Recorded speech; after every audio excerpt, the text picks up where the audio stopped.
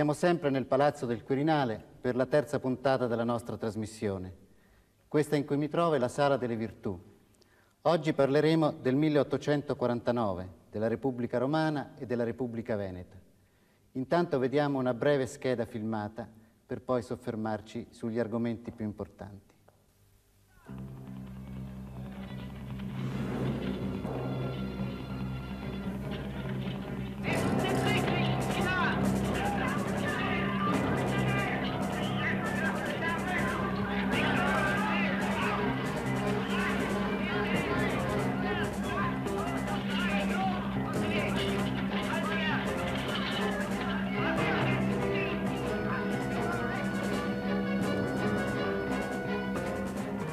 1848, l'anno della grande ondata rivoluzionaria.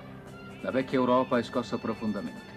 Da Parigi, Budapest, Milano, Palermo, Roma, Venezia giungono notizie che provocano forti preoccupazioni nelle corti e nelle cancellerie, mentre suscitano attese e speranze negli ambienti liberali e democratici. Purtroppo, tra la fine del 48 e i primi mesi del 49, sotto i colpi decisivi dell'esercito austriaco, il sogno di libertà si dissolve lentamente. Il 23 marzo 1849 viene stroncato a Novara il tentativo piemontese di riprendere la guerra. Si conclude così tristemente il breve regno di Carlo Alberto, costretto ad abdicare in favore del figlio Vittorio Emanuele, nella speranza che quest'ultimo possa ottenere condizioni accettabili nelle trattative di pace. Primo aprile, dopo dieci giorni di scontri, viene soffocata l'insurrezione di Brescia. 16 maggio, gli austriaci occupano Bologna. 10 giugno, cade il porto pontificio di Ancona. Negli stessi giorni, il governo fiorentino di Francesco Domenico Guerrazzi non resiste all'urto delle truppe austriache, che restituiscono il ducato di Toscana a Leopoldo II. Nel mezzogiorno, la Sicilia torna sotto il controllo dei Borboni.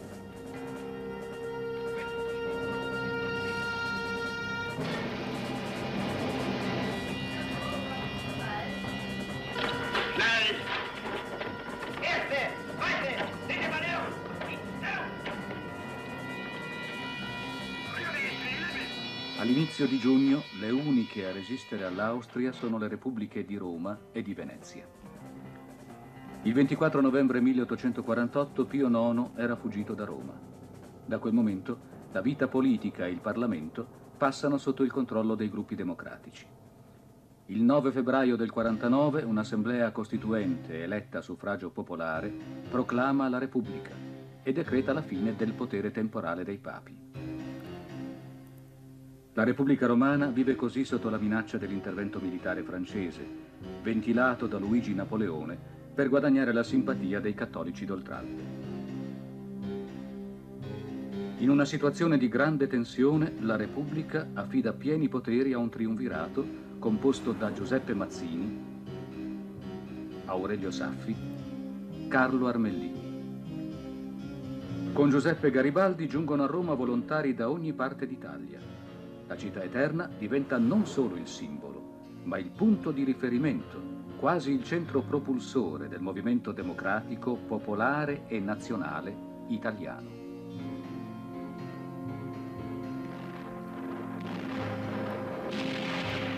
Il 3 giugno, il corpo di spedizione francese, comandato dal generale Odinot, attacca la città sul versante del Gianicolo. L'assedio è lungo e sanguinoso. Villa Corsini, Villa Spada, il Vascello diventeranno simbolo dell'eroica difesa della Repubblica Romana e le figure di Luciano Manara, Giacomo Medici, Goffredo Mameli, Anita Garibaldi entreranno nella oleografia e nel mito che accompagna questa pagina della storia nazionale.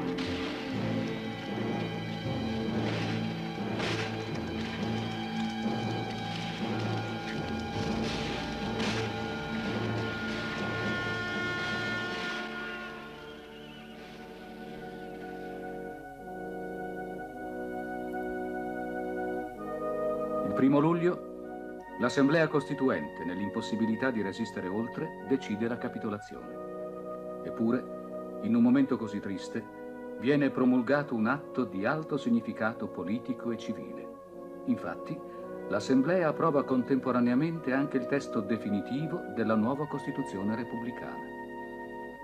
Una Costituzione destinata a non entrare mai in vigore, ma a riaffermare ancora una volta i principi mazziniani dei diritti dell'uomo, della sovranità popolare, della libertà e dell'eguaglianza fra i cittadini. Negli stessi giorni in cui si conclude amaramente la vicenda della Repubblica Romana, si consuma anche la tenace e fiera resistenza della Repubblica di Venezia.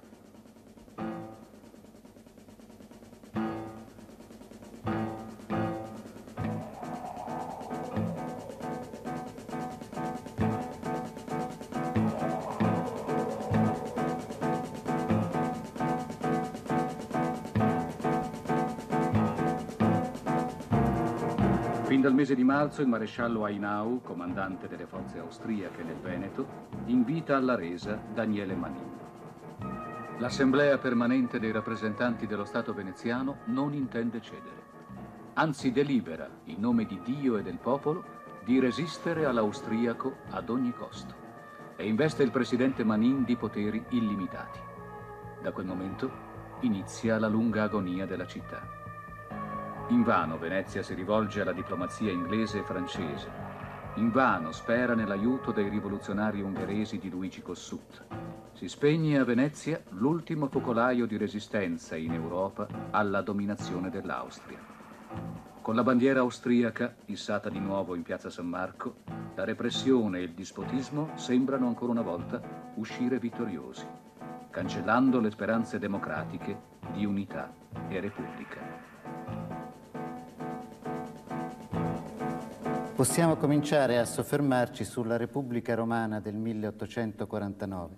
Abbiamo qui con noi il professor Giuseppe Talamo, che è docente di storia del Risorgimento al Magistero eh, dell'Università di Roma, al quale vorrei chiedere di illustrarci quello che può essere il significato politico della Repubblica Romana. Fra gli avvenimenti mh, politici del biennio rivoluzionario 48-49 la Repubblica Romana ha una sua collocazione molto precisa, cioè costituisce nella tradizione democratica italiana probabilmente l'episodio più significativo, sia da un punto di vista di politica interna, sia da un punto di vista più vasto, internazionale. Da un punto di vista di politica interna perché forse per la prima volta in grande misura c'è l'unione di forze politiche diverse, di monarchici e di repubblicani, di Manara e di Carlo Pisacane e di Garibaldi. E questo costituisce senza dubbio un motivo che resterà a lungo nella tradizione risorgimentale. Certo. E qual è il carattere di questa Costituzione che viene approvata proprio? La Costituzione viene approvata, come tu dicevi giustamente, alla fine della certo. Repubblica, certo. cioè quando i francesi stanno per entrare a Roma. Ed è l'unica Costituzione preunitaria che abbia un carattere così squisitamente democratico, cioè c'è il suffragio universale, cioè c'è la partecipazione popolare diretta sì, certo. e c'è quindi non ci sono cioè, quei limiti che pure erano presenti pesantemente nello Statuto albertino. Dicevo prima internazional anche sì. internazionalmente parlando perché Roma cade sia per l'intervento dei francesi che sbarcano a Civitavecchia, ma anche per l'intervento degli austriaci nella parte orientale dello Stato Pontificio. Certo. E Francia e Austria si misurano, secondo la lunga tradizione di rivalità e di contrasti, nello Stato Pontificio, cercando di assumerne il, il, il controllo ognuno per la sua parte. Anche Venezia ha questa partecipazione popolare, no? ma in che si possono certo. distinguere le due esperienze? Ma per Venezia l'esempio che viene in mente è l'esperienza negativa della discesa del Bonaparte, quando la vecchia Repubblica di Venezia non resiste né ai francesi né agli austriaci e diciamo che cade in maniera ingloriosa, cioè non si batte. La nuova Repubblica di Venezia che ha rotto degli schemi di, di classe, di, degli schemi di una ristretta classe dirigente, è una Venezia diversa. E anche qui, a mio giudizio, quella fusione nazionale di cui parlavamo con Roma è sì. cominciata in un'altra regione d'Italia. Ho capito. Nel corso della Repubblica Romana, come è noto, giunsero a Roma assieme a Garibaldi anche moltissimi patrioti da tutte le parti d'Italia e tra questi anche Giuseppe Mazzini. È sulla presenza di Mazzini a Roma che abbiamo dedicato questo breve sceneggiato che ora vedremo.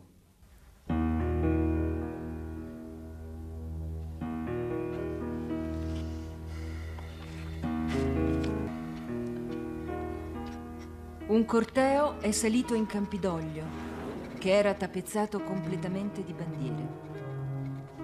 In cima al Palazzo dei Senatori c'era il tricolore.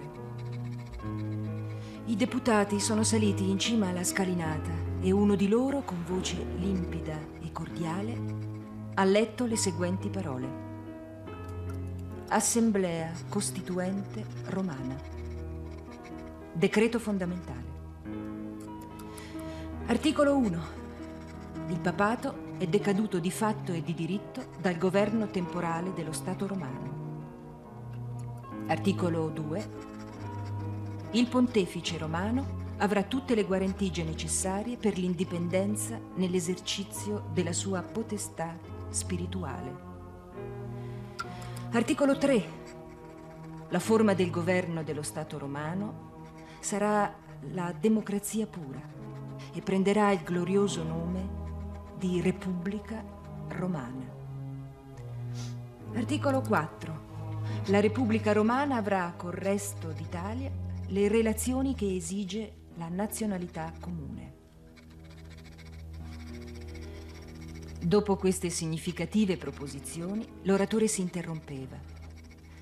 La grossa campana del Campidoglio diffondeva le sue melodie solenni e il cannone rispondeva, mentre la folla urlava Viva la Repubblica, viva l'Italia. La scorsa domenica sono stati affissi dei manifestini che invitavano la città a investire Giuseppe Mazzini dei diritti di cittadino romano.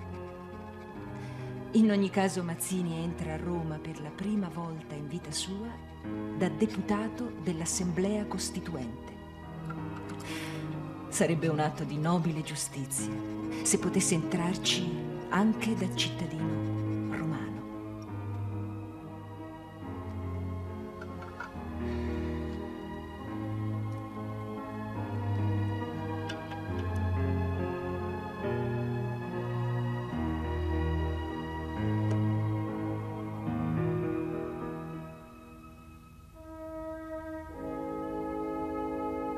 grandi miracoli in così breve tempo.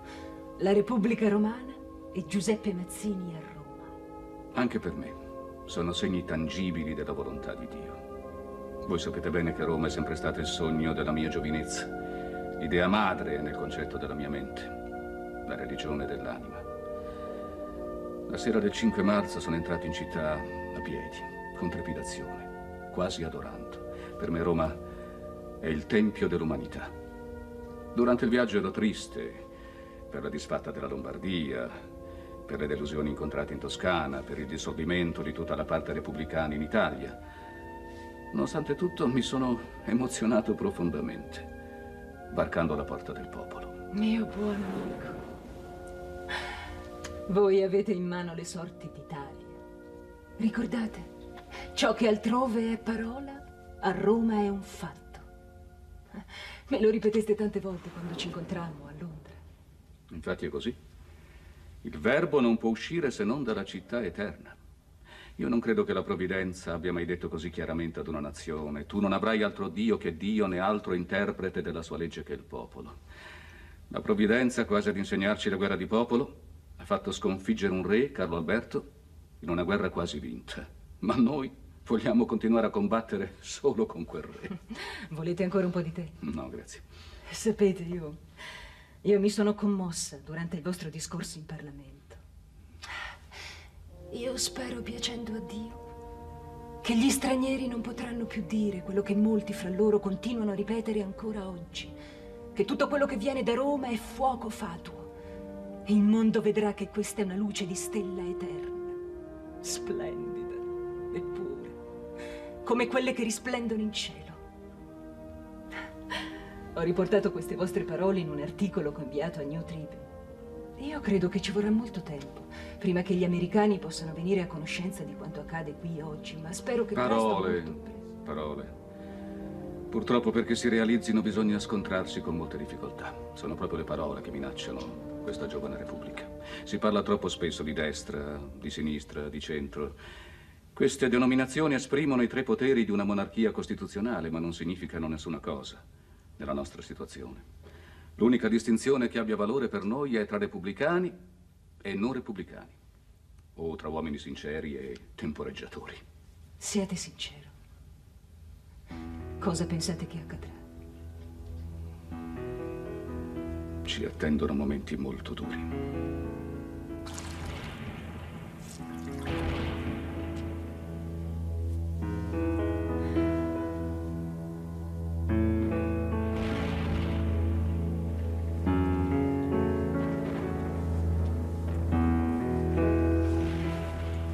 Hanno portato una lettera per voi. Ah, grazie. Dovreste riposarvi. Sì, non adesso. Ma in quello stato non sarete di aiuto ad alcuno. Hanno portato altre ferite? No. Sì, ringraziato il cielo. Ah, devo aver lasciato gli occhiali in corsia. Volete che vada a cercarli? No, siate gentili, leggetemi voi questa lettera. Vi prego.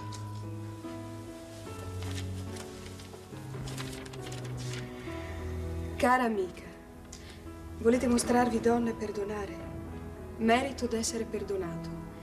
Se poteste passare tutto un giorno vicino a me, vi meravigliereste non del mio silenzio con quelli che amo, ma che io sia vivo.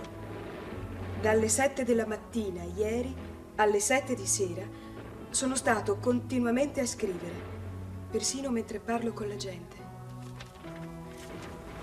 Alle sette fui chiamato al letto di un amico, Mameli, un giovane poeta soldato.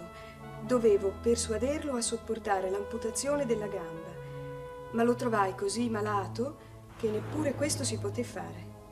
Lo lasciai alle nove. Andai per la prima volta a mangiare qualcosa. Tornai al palazzo della cancelleria e lavorai di nuovo fino al tocco dopo mezzanotte. Ogni cosa, dal particolare di un soldato arrestato a Castel Sant'Angelo alla difesa, da una disputa tra due ufficiali a una discordia fra due generali, ogni cosa fa capo a me. Perché vi siete fermate? C'è scritto, tenete per voi questo biglietto, è per voi sola. Bene, così adesso avremo un segreto fra noi, non vi pare? Continuate, vi prego. Non mi piace che gli altri sappiano che io lavoro più di qualsiasi altro uomo. Pregate per Roma e per l'Italia che è concentrata qui. Sempre vostro Giuseppe Mazzini.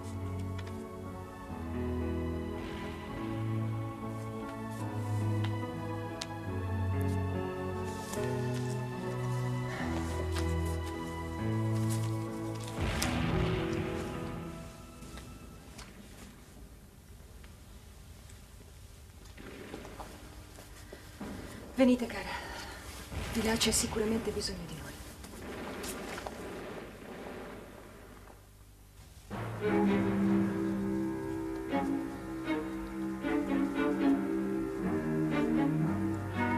I romani non potevano essere ostili ai francesi. La loro disposizione non era certo di esserlo. Avevano sperato di essere loro alleati. C'è voluto tutto quello che ha fatto il generale Oudinot per trasformare la loro fede in odio, in, in disprezzo. La Francia, che si era presentata sotto la falsa apparenza di avanguardia della civiltà, bombarda Roma, rischiando di distruggere le eredità più preziose del passato. Eppure si sussurra che non corriamo rischi soltanto da parte dei francesi. Per fermare l'avanzata del generale Oudinot si pensa di minare San Pietro. Ha scritto che nessuno abbia fiducia in me. Nemmeno voi. Un soldato che hanno portato qui ieri mi ha confidato che sareste stato voi a dare l'ordine. Ma come potete credere? Anche per un solo momento un'assurdità simile. Via! Mi mettete alla stessa stregua dei francesi. Mi sono forse mai dimostrato un vandalo? Se fosse stata una sola donna francese qui a Roma che sia stata molestata, mentre i nostri migliori patrioti e i miei migliori amici muoiono sul Gianicolo, sotto il fuoco dei francesi. Vi ho fatto venire qui perché volevo accertarmi che non fosse la verità. Perdonatemi di aver dubitato, io sono stata ingiusta. Ho l'animo pieno di dolore ed amarezza. E tuttavia non ho ceduto mai per un solo momento ai sentimenti reazionari. Lasciate che la gente parli di San Pietro e delle mine, se può essere di qualche utilità. Ma credete alla parola di un amico. Nessuno ha veduto le mine. Nessuno le vedrà finché io sarò qui.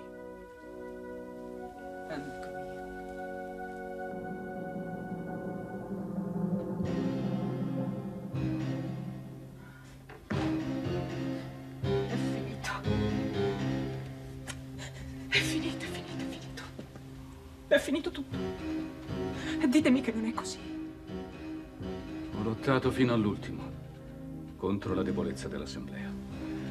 Non c'è stato niente da fare. Noi avevamo da Dio e dal popolo il doppio mandato di resistere alla prepotenza straniera. Dovevamo provare al mondo che non è possibile esitare tra il giusto e l'ingiusto, tra il diritto eterno e la forza. Dovevamo dimostrare che le monarchie fondate sull'egoismo della cupidigia possono e devono cedere o capitolare. Ma le repubbliche, fondate sul dovere, sugli ideali, non cedono, non capitolano, muoiono protestando. Ormai per voi è troppo pericoloso restare a Roma. Lo è per me come per tanti altri. Io, io vorrei aiutarvi, ma non so come. Forse. Forse potete fare qualcosa. Cosa? Ci sono due persone. Angelo Brunetti, che tutti chiamano il Ciceruacchio, e suo figlio. Hanno paura della reazione dei preti e dei loro agenti, hanno bisogno d'aiuto. Voi avete certo degli amici fra gli americani autorevoli che soggiornano a Roma. Sarebbe una buona cosa se procurassero due passaporti falsi per loro. Sarebbe una buona azione. Lo farò. Oggi stesso mi metterò in contatto con alcuni connazionali che non dovrebbero avere nessuna difficoltà a procurarmi due passaporti di cittadini americani con nomi italiani, in modo da avere una protezione sicura. Grazie. Grazie, amica mia. Ma dobbiamo pensare anche a voi. No, no. Mi procurerò un terzo passaporto. No, no, no, no. Non datevi pena per me. Fate recapitare i passaporti per Brunetti e suo figlio in casa dell'attore Gustavo Modena, in via di Pietra 66.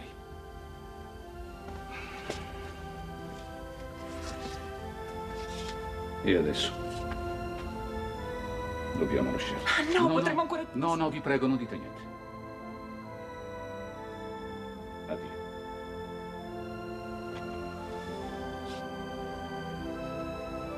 Addio a voi, mia dolcissima amica.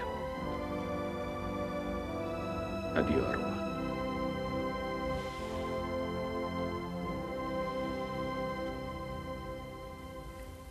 È doveroso a questo punto un cenno sulla eroica resistenza dei volontari della Repubblica Romana. Ce ne parla il dottor Alberto Arpino, che è direttore del Museo del Risorgimento di Roma, che ci conduce su alcuni luoghi della, della battaglia che i volontari dovettero sostenere contro i francesi. Siamo in una sala del Museo Centrale del Risorgimento di Roma. Da qui rievocheremo gli episodi salienti della difesa della Repubblica Romana, che nata nel febbraio del 1849 dovrà soccombere sotto i colpi del corpo di spedizione francese nel luglio dello stesso anno. Dove si svolgono i combattimenti? Nella zona del Gianicolo, il colle che sovrasta Roma, lungo la via Aurelia Antica, nella zona di Villa Doria Panfili e infine la breccia sarà aperta all'altezza dell'attuale Villa Sciarra. L'attacco a Roma è venuto proprio dalla nazione che veniva considerata potenzialmente amica. Il 20 di aprile da Marsiglia il generale Oudinot, comandante il corpo di spedizione del Mediterraneo, lancia un proclama equivoco. Non si comprende se i francesi vengono a difendere la Repubblica o al contrario a restaurarvi il potere del Papa. Sicché il 25 di quello stesso mese a Civitavecchia possono sbarcare senza incontrare resistenza. Ma a Roma non si sta con le mani in mano e si organizza la difesa. Già il 28 Udinò è a Castel di Guido e a Roma, accanto all'esercito regolare della Repubblica, che altro non è che il vecchio esercito pontificio, con la linea della fanteria, con l'artiglieria e con la guardia mobile, sono accorsi anche volontari da ogni parte d'Italia e del mondo. Si pensi alle camicie rosse di Garibaldi, della legione italiana, che già aveva combattuto in Sud America, a Montevideo, i bersaglieri lombardi di Luciano Manara e il giovane poeta Goffredo Mameli, solo per citarne qualcuno. Il 30 aprile Udinò è giunto ormai a Villa Doria Panfili e sta marciando contro Porta Cavalleggeri e contro Porta San Pancrazio. Lui ritiene che i romani, gli italiani, non si batteranno. Ha con sé circa 5.000 uomini e non si preoccupa neanche di mandare avanti delle pattuglie esploranti. Ma gli italiani si battono e accanto alla linea, all'artiglieria, i volontari garibaldini e gli altri giunti a soccorso si battono strenuamente. I francesi vengono impegnati in duri combattimenti, hanno molti morti, feriti e prigionieri, devono arretrare, sono respinti sulle linee di partenza e devono chiedere un armistizio. Per tutto il mese di maggio, pur con alterne vicende, la tregua con i francesi resterà in piedi. La notizia del felice esito del combattimento del 30 aprile è data al popolo di Roma dai rappresentanti, tra essi primo firmatario Enrico Cernuschi. È l'eroe delle cinque giornate di Milano e giustamente può esultare. I francesi stanno entrando in Roma, ma vi entrano da prigionieri, ma subito dopo aggiunge, badate, l'assedio sarà lungo, dobbiamo mobilitare tutte quante le nostre forze. E così il mese di maggio passa in tregua. Ciò permetterà a Garibaldi di contrastare, di vincere, di rigettare oltre i confini anche le truppe napoletane di Ferdinando II che avevano tentato anch'esse di occupare Roma. Ma contemporaneamente si rinforza anche l'Udinò. Via via a Civitavecchia continuano a sbarcare nuove forze. Ormai questo corpo francese si è rinforzato in artiglieria, in reparti del genio, arriverà a contare alla fine del mese più di 35.000 uomini. Roma ormai è tagliata fuori da tutto quanto lo Stato di cui essa dovrebbe essere capitale. Solo il popolo di Roma può dare un aiuto alla difesa e i popolani sono pronti a mobilitarsi e sono pronti a combattere. Verso la fine del mese si stipula addirittura una convenzione con i rappresentanti diplomatici della Francia e per un momento sembra che questo esercito francese sia qui per difendere la Repubblica. Ma il generale Udinò il 3 giugno denuncia questo trattato e attacca con una interpretazione molto personale gli avamposti romani nella zona di Villa Doria Panfili. I combattimenti sono ferocissimi molti morti da ambedue le parti, ma l'esito non può essere che negativo per i nostri. Nonostante gli infiniti episodi di, valore, restano in mano ai romani solamente il vascello e pochi avamposti. La parola ormai passa all'artiglieria e i francesi sono molto forti in bocche da fuoco. I loro pezzi si spingono sempre più vicino alle mura e verso la fine del mese riescono ad aprire la breccia. Come può ormai Roma continuare a difendersi? Rotta la breccia, aperta la breccia, le artiglierie francesi sono ormai in posizione e dall'alto del Gianicolo dominano la città.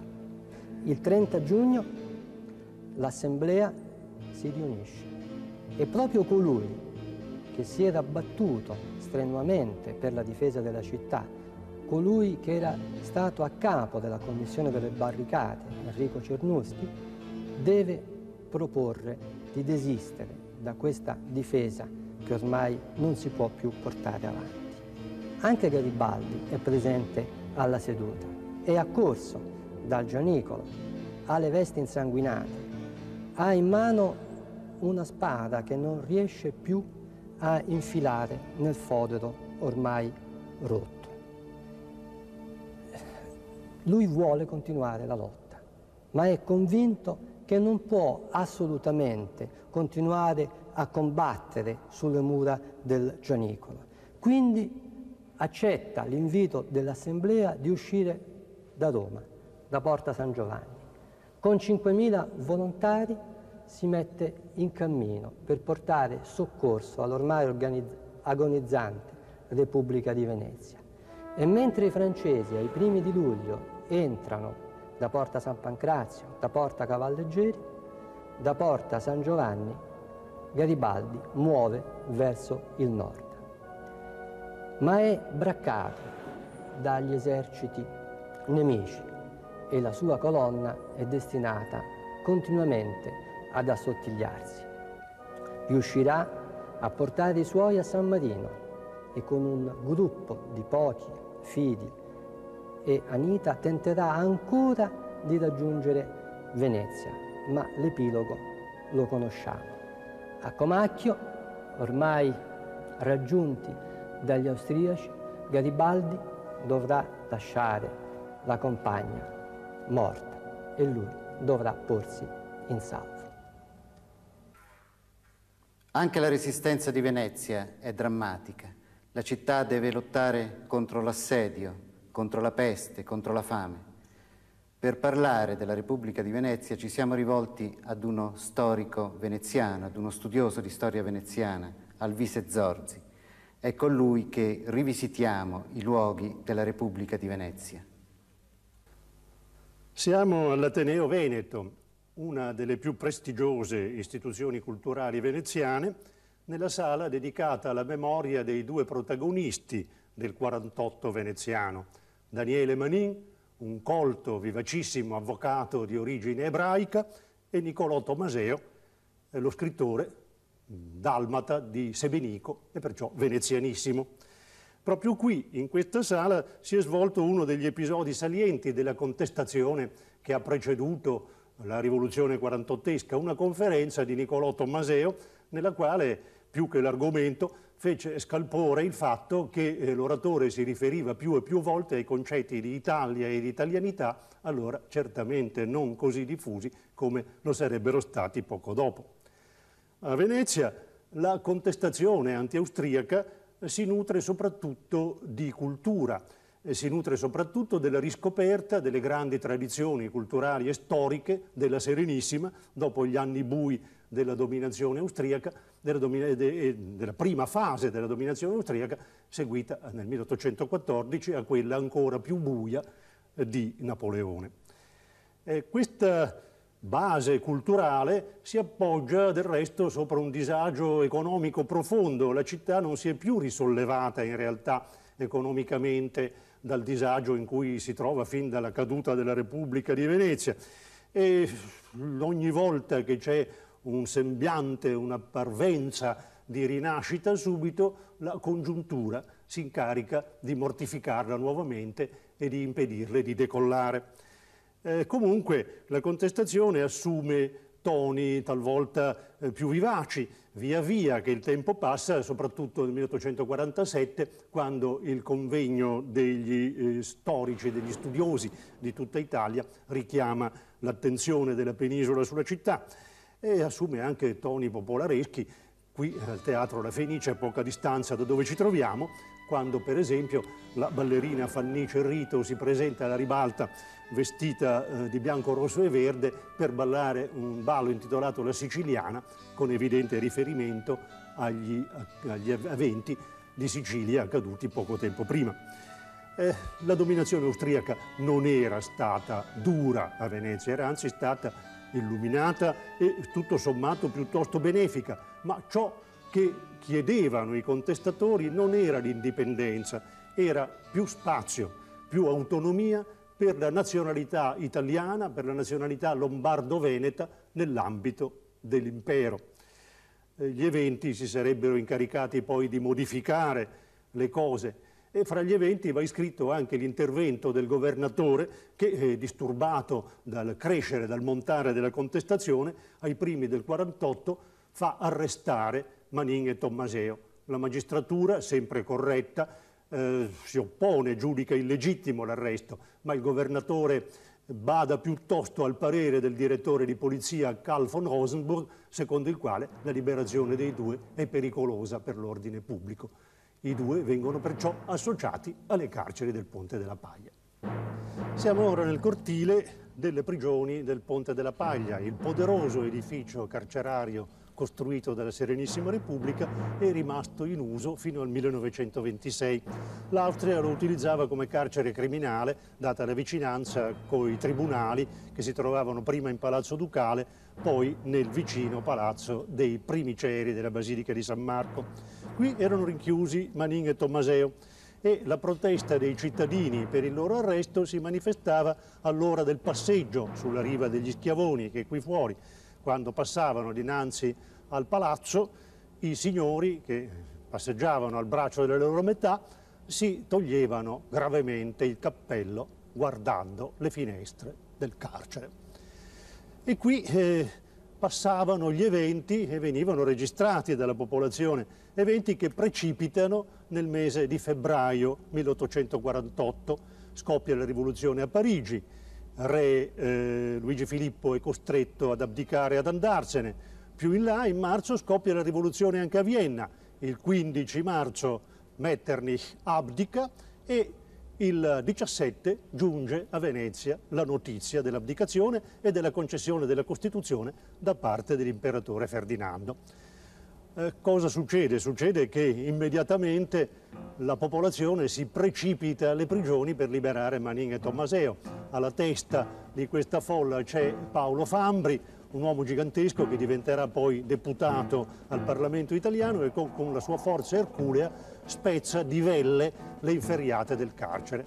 Ma Manin si rifiuta di uscire. Manin dichiara che eh, arrestato e incarcerato arbitrariamente e illegalmente soltanto per un provvedimento legale consentirà di uscire e vuole un decreto del Presidente del Tribunale. Non è l'atteggiamento sterile di un leguleio, è il senso della battaglia che aveva combattuto Manin, la battaglia della resistenza legale, della contestazione legale. In realtà ciò che Manin esigeva era il rispetto delle leggi, leggi di per sé buone e oneste, ma trasformate e non applicate dall'arbitrio dell'esecutivo. Piazza San Marco, da sempre l'epicentro della vita di Venezia, era naturale che lo fosse anche delle vicende della città nel 1848 e nel 1849, a cominciare dalla giornata del 17 marzo 1848 che segna la popolarizzazione della eh, contestazione anti-austriaca e, il, preludio della rivolta. Che cosa succede in quel giorno? Succede che eh, la popolazione, dopo la liberazione di Manin, è festante, in giro, eh, la una truppa, un battaglione di croati che presidiava la piazza eh, perde il controllo di sé saltano i nervi dei soldati, i soldati sparano, ci sono otto morti e molti feriti. Fino a quel momento la contestazione austriaca era sostanzialmente il privilegio delle classi borghesi, eh, soprattutto delle classi intellettuali, perché il governo austriaco, se era provvido e ordinato, aveva il difetto di non essere punto illuminato e eh, la oppressione ideologica era sentita da molti e da molti sofferta. C'era poi anche il desiderio del ceto mercantile, del ceto economico, di trovare altri sbocchi, altre possibilità alla vita economica della città, sempre più o meno frustrata da molto tempo.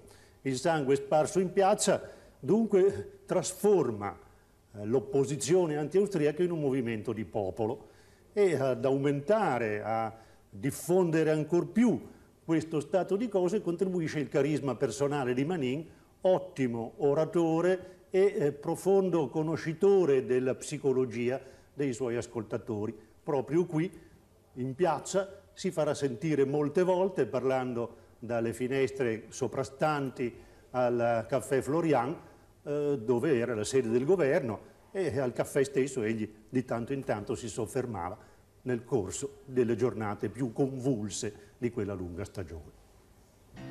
Qui all'Arsenale, il grande stabilimento navale e militare, eh, si svolge l'episodio fondamentale della giornata del 22 marzo e si concluderà con la proclamazione della Repubblica Veneziana Indipendente.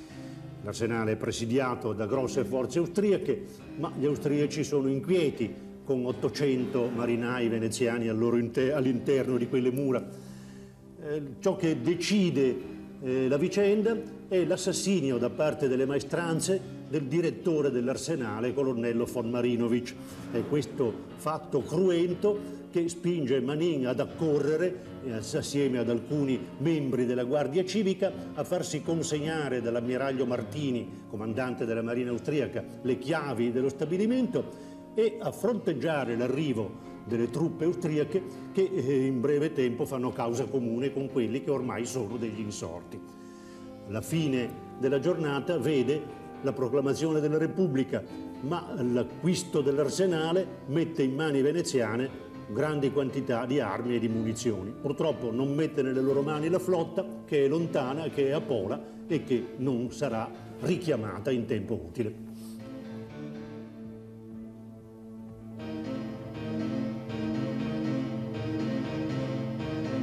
Poco dopo la proclamazione della Repubblica, celebrata con grande tripudio in piazza San Marco, la situazione dell'impero austriaco, apparentemente in dissoluzione, era radicalmente mutata. Eh, l'imperatore Ferdinando aveva abdicato, gli era succeduto il giovanissimo arciduca Francesco Giuseppe, diciottenne, e alla testa della monarchia si era trovato un uomo di straordinaria energia, il principe Felice zu Schwarzenberg, deciso a ristabilire l'ordine turbato dalle insurrezioni quarantottesche. Da allora eh, la vicenda di Venezia si va sempre più aggravando, anche se la Repubblica conosce giornate molto felici dal punto di vista della sua evoluzione, prima di tutto con l'elezione attraverso libere votazioni di un'assemblea costituzionale alla quale ne seguirà dopo qualche tempo una seconda. È la prima volta che Venezia conosce davvero la democrazia. Ma eh, le vicende militari influiscono negativamente sui fatti. Eh, a un certo punto sembra che eh, le cose vadano bene per l'esercito piemontese eh, che via via avanza, si fa strada eh, un partito che vorrebbe l'unificazione col Piemonte. Manin è contrarissimo e si dimette in questo momento dal governo al quale era salito già il 22 marzo, ma eh, non passa molto tempo e queste speranze vengono anch'esse frustrate dalla disastrosa sconfitta di Novara ai primi del 1849 che toglie di mezzo completamente il Piemonte dalla vicenda. Una alla volta si spengono tutte le varie luci di libertà accese nelle varie città italiane. Venezia è sempre più sola. Caduta anche la Repubblica Romana, sarà veramente sola, sarà l'ultimo, unico luogo in cui ancora la rivoluzione sopravvive. Da maggio è stetta in un assedio spietato da tutte le parti, viene ripetutamente bombardata, isolata com'è non può essere soccorsa con viveri e con altri generi e perciò conosce la fame. Con la fame viene anche la malattia, viene il colera. La popolazione eh, reagisce a tutte queste sciagure con uno straordinario coraggio morale. Dopotutto, questa assurda, ostinata, eh, forse logicamente ingiustificabile ma eroica resistenza è stata democraticamente votata dall'Assemblea del popolo veneziano riunita nella sala del Maggior Consiglio del Palazzo Ducale con l'approvazione di un ordine del giorno sublime nella sua disadorna semplicità. Venezia resisterà all'austriaco ad ogni costo.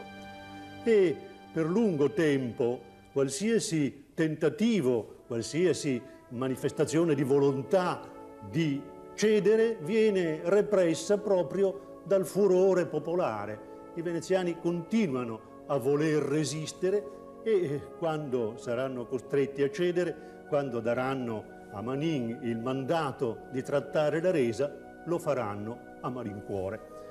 I giorni in cui viene trattata la resa sono pervasi da una profonda tristezza.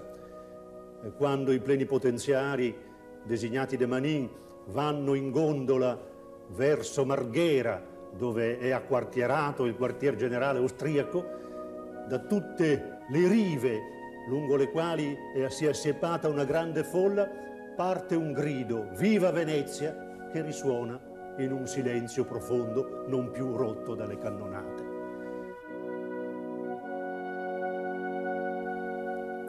Anche Venezia dunque è costretta a tornare sotto la dominazione austriaca. Ci resterà per altri 17 anni. A Venezia troviamo Rossana Potestà. Seguiamo la sua visita guidata. Ai primi del Settecento, qui a Piazza San Marco, c'erano vari caffè, l'Arabo, il Doge, le Dame Venete, l'Imperatore e tantissimi altri. Ma il più importante delle 200 botteghe da caffè, la Negra Bevanda come si chiamava allora, era senz'altro nel 1720 il Florian. Le cronache narrano che il caffè Florian all'inizio si chiamava Venezia Trionfante. Il proprietario era Floriano Francesconi e fra gli amici si cominciò a dire andemmo dal Florian e così il nome gli rimase fino ad oggi. Ma al Florian non si veniva solo per giocare, ma anche per avere le ultime notizie. Infatti era uno dei tre locali autorizzati dagli inquisitori dove si potevano leggere i giornali stranieri ed italiani. Il caffè rimase sempre aperto, anche quando cadde la Repubblica con il Trattato di Campoformio e l'annessione al Lombardo-Veneto.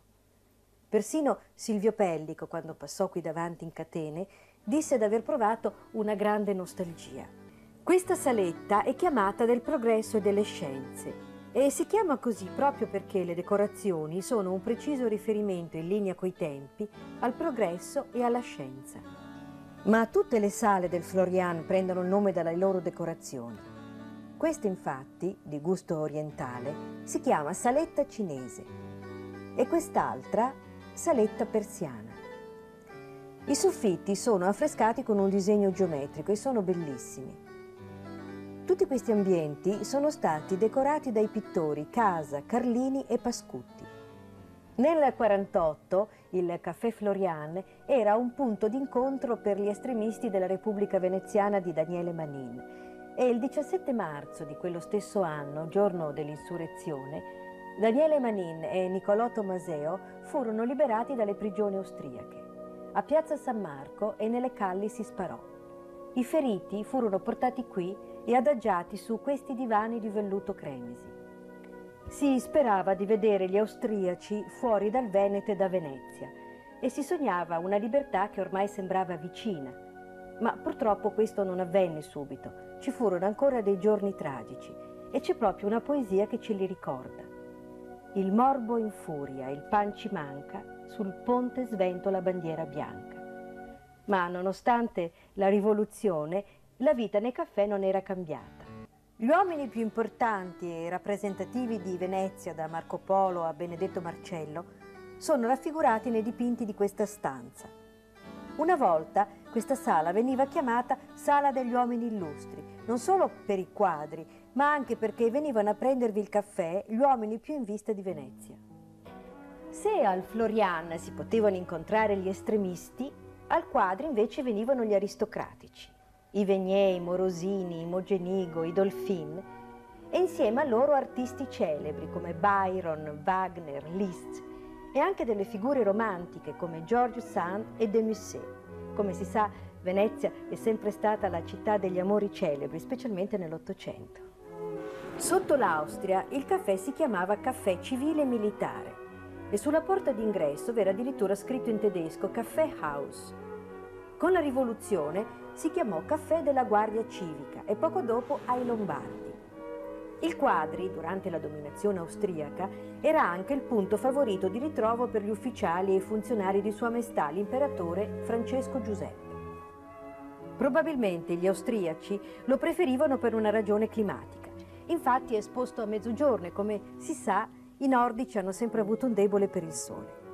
In queste stanze superiori era possibile fumare e gli ufficiali austriaci, nelle loro bianche, impeccabili uniformi, tra nuvole di fumo dei sigari Virginia, il rumore delle sciabole che sfioravano il pavimento, passavano il loro tempo raccontandosi le ultime avventure o facendo commenti sui loro comandanti. Nel 1848 i militari austriaci di stanza Venezia si calcola che fossero più o meno 8370. In piazza San Marco, al caffè Quadri, la mia corte si componeva in massima parte di ufficialetti e di impiegati tirolesi, scipiti e assai tronfi. Così ci descrive l'ambiente la contessa Livia nel racconto Senso di Camillo Boito. Ma oltre agli austriaci, queste sale furono frequentate da Balzac, che incontrò qui il suo traduttore, e da Alexandre Dumas, che proprio qui al Quadri raccolse il successo della sua Dama delle Cameglie, che in quel periodo veniva rappresentata a Venezia. Ma questa atmosfera così tranquilla e serena fu rotta un giorno da un avvenimento che portò allo scompiglio fra gli austriaci. Furono issate le bandiere tricolori sui pennoni di piazza San Marco. Un ufficiale croato tentò di ammainarle, mentre i soldati respingevano la folla con le baionette. Fu il Quadri per primo a subire le conseguenze di questa rivolta. Una folla esasperata, conoscendo la passione degli austriaci per questo posto, fece irruzione nel locale e sfogò la sua rabbia distruggendo tutto. Quando i veneziani se ne andarono, del Quadri era rimasto ben poco. Oggi fra i tavolini dei due più famosi caffè di Piazza San Marco, il Quadri e il Florian, non ci sono più uniformi, non ci sono più separazioni ideologiche, ma ci sono coppie di giovani e meno giovani che sanno ancora apprezzare e godere di questo posto che resta uno dei più belli, uno dei più suggestivi del mondo. Abbiamo parlato in questa puntata delle due drammatiche ed eroiche vicende della Repubblica Romana e della Repubblica di Venezia, episodi nei quali si afferma una visione democratica, repubblicana e popolare del processo unitario che non sarà vincente sul momento, ma che comunque rappresenta un fatto storico e politico di grande significato. Nella prossima puntata parleremo di Cavour, parleremo della fase risolutiva del processo di unificazione nazionale. Grazie.